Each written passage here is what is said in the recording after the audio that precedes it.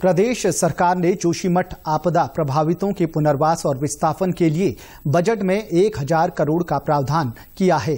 गैरसैंण में वित्त मंत्री प्रेमचंद अग्रवाल द्वारा पेश बजट में जी ट्वेंटी के लिए सौ करोड़ प्रावधान किया गया। इसके अलावा धामी सरकार ने सबसे ज़्यादा बड़ा हिस्सा लगभग दस हज़ार चार सौ उनसठ करोड़ शिक्षा पर खर्च करेगी। स्वास्थ्य सेवाओं पर 4,217 करोड़ खर्च किया जाएगा। इसके अलावा समाज कल्याण महिला बाल कल्याण पर 2,850.24 करोड़ खर्च करने का प्रावधान किया गया है, जबकि नंदा गौरा योजना के लिए दो करोड़ का बजट रखा गया है। सरकार ने गन्ना किसानों के बकाया भुगतान के लिए बजट में 215 करोड़ की व्यवस्था की है। स्वरोजगार और रोज़गार के लिए विशेष प्रावधान किया गया है।